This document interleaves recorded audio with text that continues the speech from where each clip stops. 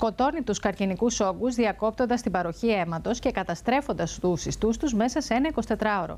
Χρησιμοποιώντας την τεχνική DNA origami, ερευνητές από τις Ηνωμένες Πολιτείες και την Κίνα δημιούργησαν ένα πλήρως αυτόνομο σύστημα νανορομπότ, που αν πετύχεις στι δοκιμές που θα γίνουν στους ανθρώπους, μπορεί να καταστεί το νέο ισχυρό όπλο στη μάχη κατά του καρκίνου.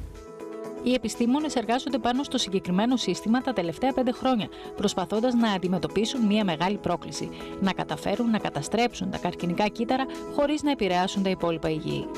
Τα νανορομπότ που αποτελούνται από επίπεδο origami DNA διαστάσεων 90 επί 60 νανομέτρων το καθένα προγραμματίζονται ώστε να εντοπίσουν τους καρκινικούς όγκους στο σώμα.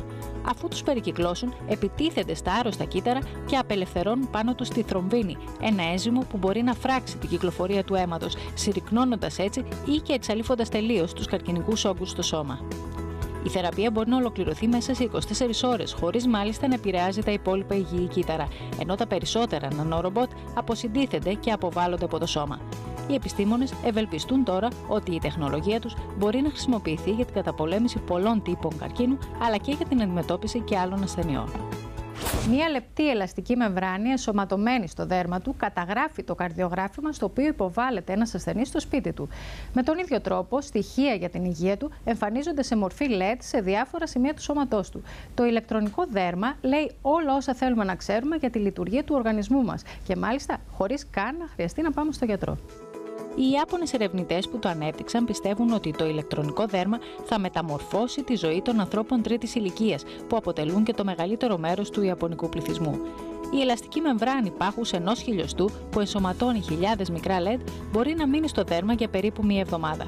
Μέσω αισθητήρων καταγράφει όλες τις απαραίτητες πληροφορίες για τον οργανισμό και χάρη στη συνδεσιμότητά της, τη στέλνει στο γιατρό ή τους συγγενείς του ασθενούς, παρέχοντας έτσι ένα πλήρες χρονικό της εξέλιξης της υγείας του.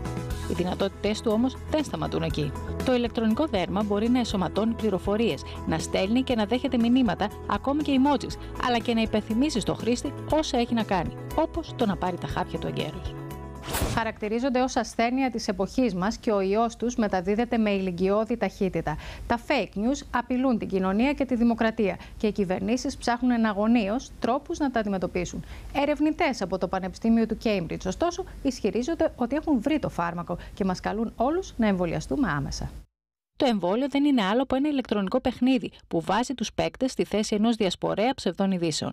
Στόχος τους είναι να συγκεντρώσουν ένα βαθμό αξιοπιστίας και να το διατηρήσουν μέχρι το τέλος του παιχνιδιού, και για να το καταφέρουν αυτό, αντιμετωπίζουν διάφορες προκλήσεις. Δημοσιεύουν ψευδείς ειδήσεις, δημιουργούν ψευδοτρόλ, διαμοιράζουν υλικό που έχει παραποιηθεί στο Photoshop ή ανακοινούν συζητήσεις που σχετίζονται με θεωρίες συνωμοσίας. Όσο το παιχνίδι εξελίσσεται, τόσο οι χρήστες έρχονται αντιμέτωποι με την οργή, το φόβο και την έλλειψη εμπιστοσύνης που βιώνει το κοινό που εκτίθεται στα fake news, με αποτέλεσμα να αποκτούν ανοσία και να θωρακίζονται ψυχολογικά ώστε να αντιλαμβάνονται και να αντιμετωπίζουν τις διάφορες εκστρατείες ψευδών ειδήσεων που κλιμακώνονται στο διαδίκτυο.